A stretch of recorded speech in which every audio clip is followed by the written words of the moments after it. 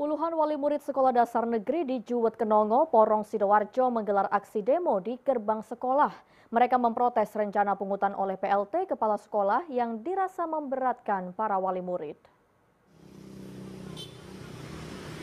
Para wali murid SDN Juwet Kenongo, Kecamatan Porong Sidoarjo, hari Rabu menggelar aksi unjuk rasa di depan gerbang sekolah. Mereka berorasi sembari membentangkan neka spanduk berisi tuntutan agar Dinas Pendidikan Kabupaten Sidoarjo segera menunjuk kepala sekolah yang baru menggantikan pelaksana tugas kepala sekolah.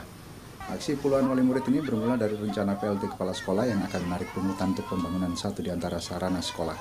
Besaran pungutan itu Rp100.000 per siswa. Selain itu, puluhan wali murid ini juga menyampaikan adanya iuran wajib sebesar Rp10.000 yang dibayar setiap bulan. Mereka merasa iuran-iuran itu sangat memberatkan. Uh, ada beberapa program yang diajukan oleh kepala sekolah, khususnya Ibu Saidul Uyun.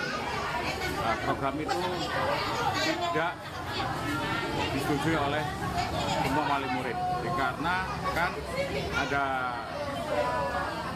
uh, namanya uang nominal yang diajukan di program tersebut yang memberatkan semua wali murid. Sementara itu Neti Lastiningsih, Kepala Bidang Mutu Pendidikan Dinas Pendidikan dan Kebudayaan Kabupaten Sidoarjo yang menemui para wali murid menerangkan PLT Kepala Sekolah sudah menyampaikan pengunduran diri ke Dinas Pendidikan dan Kebudayaan Kabupaten Sidoarjo.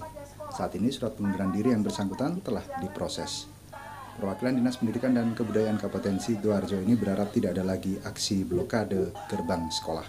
Selama aksi para wali murid ini berlangsung, praktis proses belajar mengajar terhenti. Para siswa yang hendak masuk sekolah tertahan di gerbang sekolah dan sebagian memilih pulang ke rumah.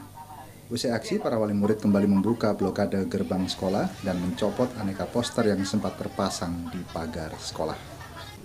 Dari Sidoarjo, Pramono Putra, iNews melaporkan.